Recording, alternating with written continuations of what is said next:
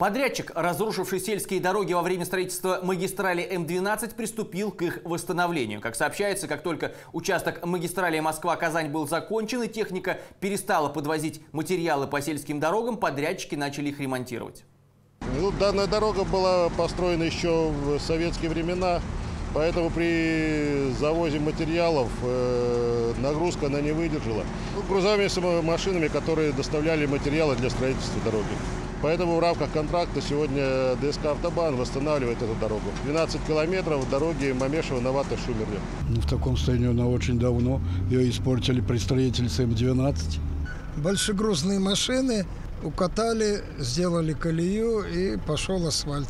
На данный момент вышли на фрезеровку основания. Проводим выравнивание существующей поверхности, выемки пучинистых мест, чтобы приступить к дальнейшему укладке асфальта. У нас планировалось э, выйти на работу в октябре месяце. Э, мы перенесли этот срок э, на месяц раньше для того, чтобы ускорить процесс восстановления, сделать работы в теплый период более качественные, чтобы жители Пильнинского района ездили с удовольствием по данной дороге.